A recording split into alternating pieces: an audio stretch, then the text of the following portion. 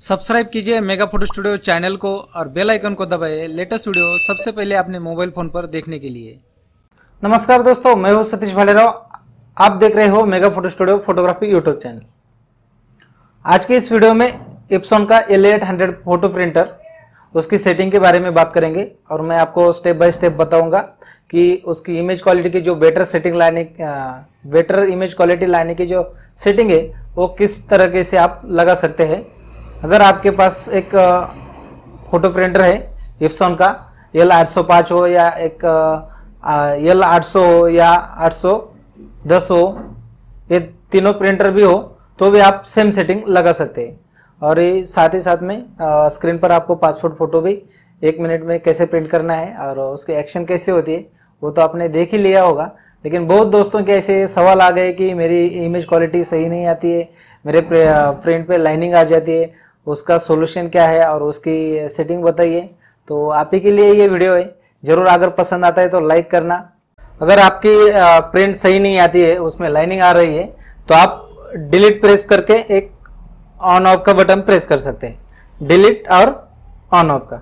उसके लिए आपको एक टेस्ट प्रिंट आ जाएगी। अगर आपके पास ऐसा व्हाइट पेपर है, कोई भी ये फोर साइज़ का ये डॉक्यूमेंट प्रिंटिंग वाला पेपर है ठीक है मैं ये फ़ोटो पेपर बाहर निकाल देता हूँ और ये प्रिंटर लगा देता प्रिंट देता हूँ। ठीक है इससे पता चलेगा आपको कि ये प्रिंट सही आने वाली है कि नहीं। डिलीट प्रेस कर रहा हो और स्टार्ट बटन दो तीन सेकंड दबा के रखना है तो आ, उसका टेस्ट प्रिंट आ जाएगा। ठीक है तो उसमें बहुत सारे डिटेल आ जाते हैं कि प्रिंटिंग काउंटिंग कितना हुआ है या अपनी टेस्ट प्रिंट कैसे आने वाली है। इसे पता चल पाता है। तो देख लेते हैं टेस्ट प्रिंट कैसे आती है।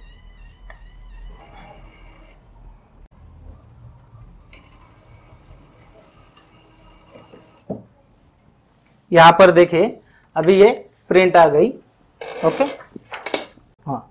यहाँ पर देखिए अभी ये जो आपने चेक इंक आ, कलर है इसमें कहीं पर भी एक भी ब्लॉक ऐसा खाली नहीं होना चाहिए। पूरे की पूरी जो लाइनिंग है एक कलर आना चाहिए। पहले जो सी कलर है, मैजेंटा कलर है, लाइट मैजेंटा कलर है यहाँ पर क्रेन कलर है, यहाँ पर लाइट मैजेंटा कलर है, ब्लैक कलर है, येलो कलर है।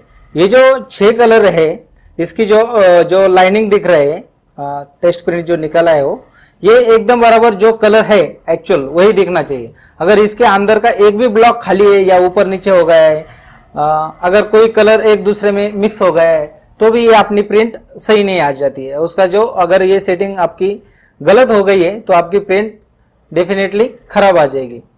ठीक है? तो अगर इसको सही करना है तो अगर इसको सही करना है तो हेड क्लीन देना पड़ेगा। अगर हेड क्लीन देते हैं, अगर हेड क्लीन देते हैं तो पूरी की पूरी जो अपना हेड है, वो क्या करेगा कि पूरा इंक इनिशिएट ये हो जाएगा। इंक ले लेगा और उसके बाद में फिर से एक बार टेस्ट प्रिंट निकल के देख सकते हैं कि ये सही है कि नहीं। अभी देखिए मेरे ब्लू लाइनिंग में थोड़ा सा ब्लैक एक जो डॉट्स है, वो ब्लैक ऐड हो गया है तो मेरा ब्लू कलर ठीक से नहीं है। अगर यहाँ पर बाकी के जो सब कलर है, वो सब ठीक है। लेकिन इतना से प्रॉब्लम के लिए मैं कुछ करना नहीं चाहता हूँ। अगर मेरे बड़े से बड़े कोई ब्लॉक आ जाता है, मैं इंक चेंज करता हूँ तो कभी या ऐसे हो जाता है। तो ठीक है। तो अभी आपको मैं स्क्रीन पे दिखाता हूँ कि हेड क्लीन कैसे देना है। स्टार्ट पे जाइए और यहाँ पर डिवाइस एंड प्रिंटर यहाँ पर क्लिक कीजिए।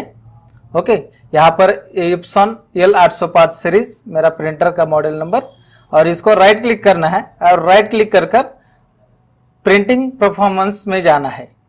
और यहाँ पर जाने के बाद आपको ये प्रिंटर की सेटिंग ऑन हो जाएगी। ठीक है तो ये सेटिंग पे यहाँ पर मेन है और मोर ऑप्शन है। मोर ऑप्शन पे जाके और यहाँ पर जो तीसरा ऑप्शन है, यहाँ पर नोजल चेक है। ठीक है?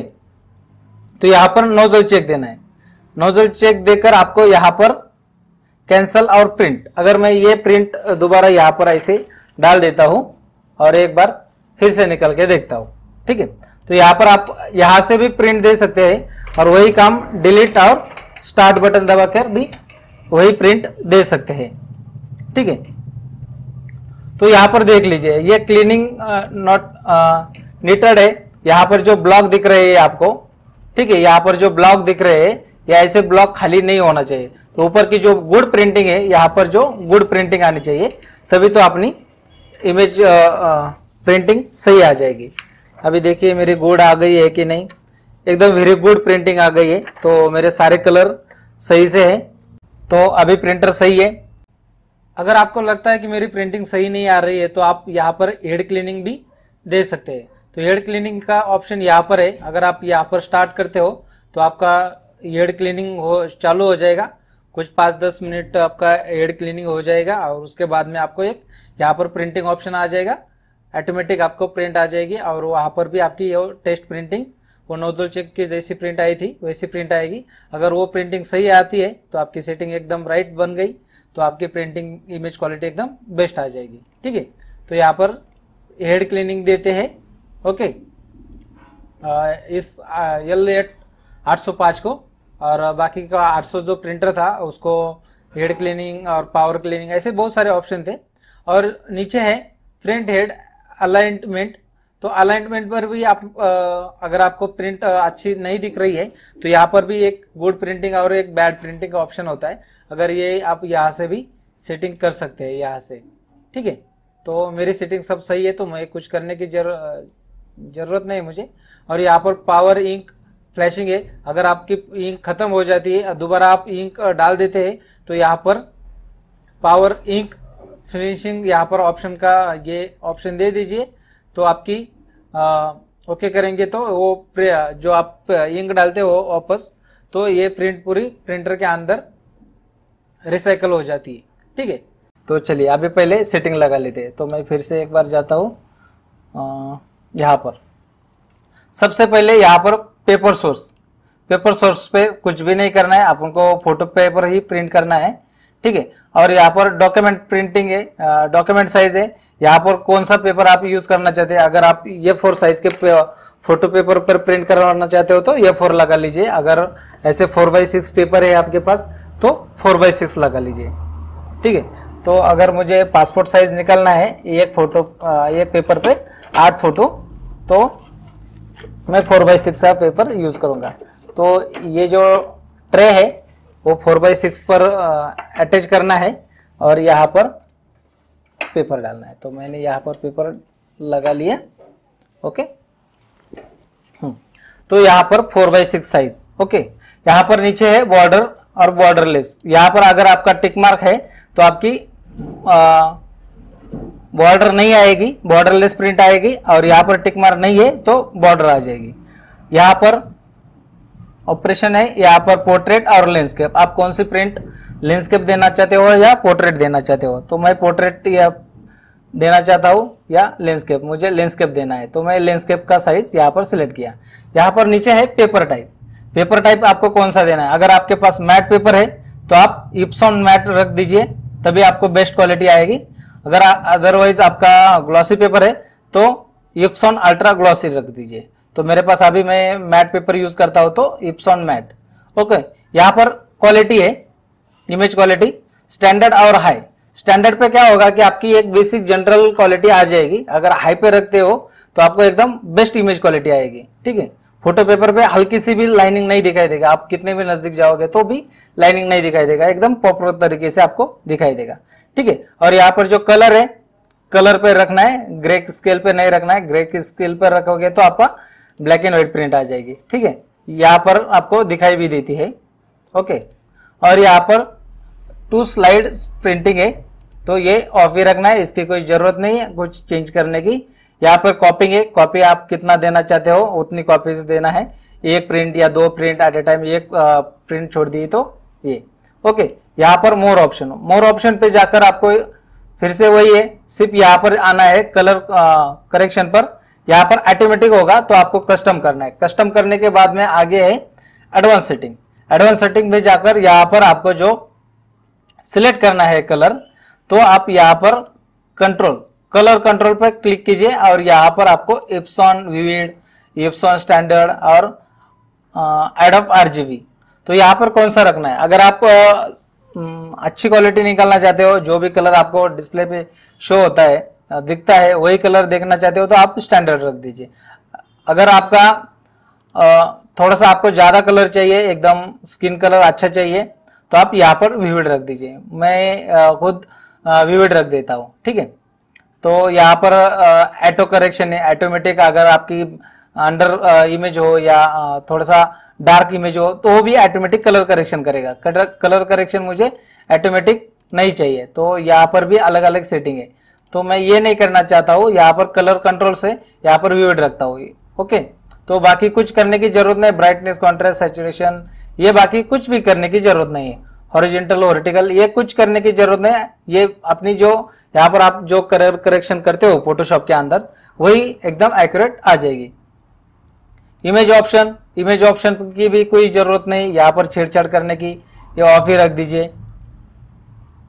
यहाँ पर भी कुछ छेड़छाड़ करने की ज़रूरत नहीं। हाई स्पीड प्रिंट देना चाहता हूँ तो मैं हाई स्पीड देना चाहता हूँ और रोटेशन 180 डिग्री से देना चाहते हैं तो यहाँ पर हाई हाई स्पीड पर टिक मार रख दीजिए और बाकी कुछ नहीं करना है। ओके अभी एक फ़ोटो प्रिंट देकर देख लेते ये मेरा एक पासपोर्ट फ़ोटो है। मैं इसकी एक्शन मेरे पासपोर्ट फ़ोटो का जो वीडियो बना है, वहाँ पर दिया है। मैं एक एक्शन देकर दिखाता हूँ आपको। एफ़ थ्री प्रेस किया। ऑटोमेटिक हमारे पासपोर्ट फ़ोटो बन गए। तो ये पासपोर्ट फ़ोटो भी कैसे बनाना है? स्टेप बाय स्टेप प्रोसेस का अपने चैनल पर वीडियो है। अगर आप देखना चाहते हो तो ज़रूर देख लीजिए। सबसे ज़्यादा पॉपुलर वीडियो मेरा ही। ठीक है? तो अभी यहाँ पर कंट्रोल पी इसको प्रिंट देना है। तो सिंपल कंट्रोल पी प्रेस कर रहा था ठीक है? Control P control P press किया। तो ये विंडोज़ आ गई। ओके यहाँ पर कॉपिंग है। अगर एक कॉपी देना चाहते हो या दो कॉपी देना चाहते हो, एक कॉपी देना है। यहाँ पर प्रिंटिंग सेटिंग है। प्रिंटिंग सेटिंग में वही, जो बाहर से सेटिंग लगाई है, वही आ जाती है। ठीक है? अगर यहाँ पर जो सेव रहती है, वही सेटिंग सेव रहेगी और वही ऑटोमेटिक कंटिन्यू प्रिंट आ जाएगी। ठीक है? यहाँ पर भी मुझे कुछ छेड़छाड़ नहीं करना है। जो भी मैंने बाहर से लगाई है, वही सेटिंग यहाँ पर आती है। ठीक है? अगर आपकी नहीं आती है तो फोटोशॉप सीसी के अंदर क्या होता है कि एक बार सेटिंग लगा के रखना पड़ता है, वही ऑटोमेटिक सेव हो जाती है और वो कंटिन्यू चालू रहती है। और इसके नीचे के जो फोटोशॉप है सेवन पॉइंट ज़ीरो हो या सी एस थ्री हो सी एस फाइव हो सी एस सिक्स हो तो उसमें क्या होता है कि ये सेटिंग जो रिसेट हो जाती है। रिसेट होने के बाद अपने आप दोबारा फिर से कंटिन्यू होती है। अगर आपके यहाँ पर कॉपी साइज़ दो दिया है तो हमेशा दो ही रहेगा, ठीक है? तो ये, हमेशा आप यहाँ पर ध्यान दीजिए। ठीक है? तो यहाँ पर बॉर्डर लेस है लेंसकेप है इप्सॉन मैट है हाई क्वालिटी पे देना चाहता हूँ कलर है, और बाकी मोर ऑप्शन पे मेरा यहाँ पर कुछ भी नहीं, मैंने एडवांस सेटिंग कलर करेक्शन यहाँ पर कस्टम किया है एडवांस सेटिंग पे विविड किया है, ठीक है? बाकी कुछ चेंज नहीं करना, एकदम बेस्ट इमेज क्वालिटी आएगी, आपको मैं सिंपल प्रिंट देके दिखाता हूँ। यहाँ पर प्रिंट दिया, यहाँ पर ओके अभी प्रिंट आ जाएगी।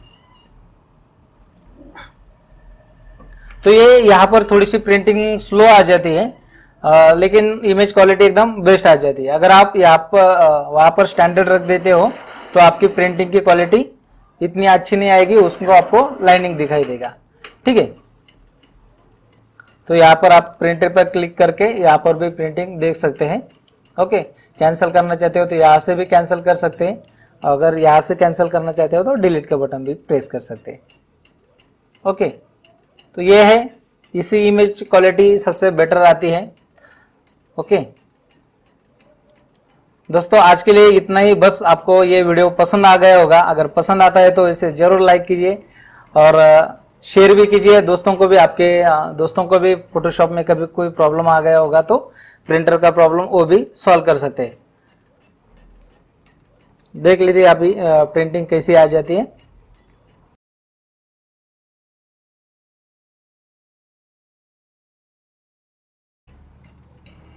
ओके। तो आप प्रिंटिंग देख सकते हैं कि बिल्कुल एकदम बेस्ट इमेज क्वालिटी की सेटिंग आ गई। कहीं पर भी लाइनिंग नहीं है, अगर आप देखना चाहते हो तो एकदम डिटेल के साथ में कहा पर भी लाइनिंग नहीं, एकदम बेस्ट इमेज क्वालिटी आ गई, ठीक है? तो उम्मीद है आपको ये वीडियो पसंद आ गया होगा। पसंद आता है तो ज़रूर से लाइक कीजिए शेयर कीजिए और मेरे साथ फोटोग्राफी और फोटोशॉप सीखने के लिए चैनल को भी सब्सक्राइब कीजिए। ताकि इससे क्या हो जाएगा कि आगे आने वाली जो वीडियो है, इसकी नोटिफिकेशन आपको आ जाएगी। तो ज़रूर चैनल को सब्सक्राइब कीजिए और आपके भी मन में कुछ सवाल छूट जाता है, इसे रिलेटेड प्रिंटर के रिलेटेड तो ज़रूर मुझे कमेंट करके आप बता सकते हैं। ज़रूर मैं आपके सवालों की कोशिश सवालों के जवाब देने की कोशिश करूँगा। तो thank you for watching video आज के लिए बस इतना ही।